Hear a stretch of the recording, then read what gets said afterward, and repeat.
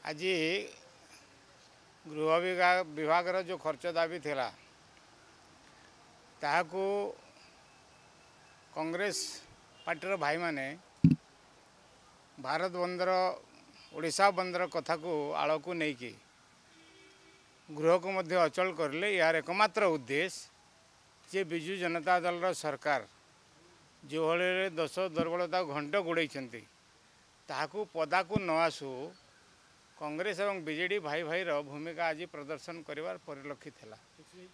আজ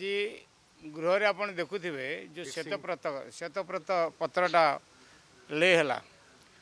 অড়চাশ ঘণ্টা পূর্বর আমি টেবুলে দেওয়া কথা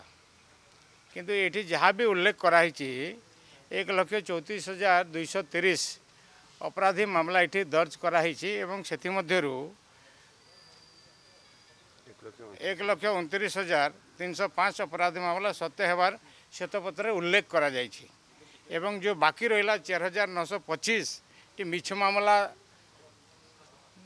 খোঁজা দেখা দেখাগলা পরিলক্ষিত হেলা তাহলে এইটি উল্লেখ কলে না এবং কোর্টর নির্দেশ ক্রমে পুনর্বার কতগুটি কেসটা রুজু করা নির্দেশ দিয়ে সত্ত্বে মধ্যে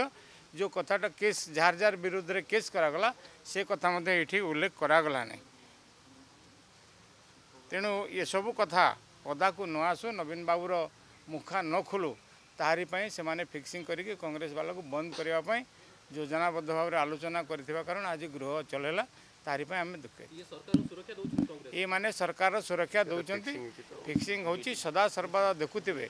ମୁଖ୍ୟମନ୍ତ୍ରୀ ଯେବେ ଜବାବ ଦେବାର ଥିବ ସେଦିନ ଗୃହକୁ ହଟ୍ଟଗୋଳ କରିବାର କଂଗ୍ରେସର ଦାୟିତ୍ୱ ନେଇଛି ଠିକା ନେଇଛି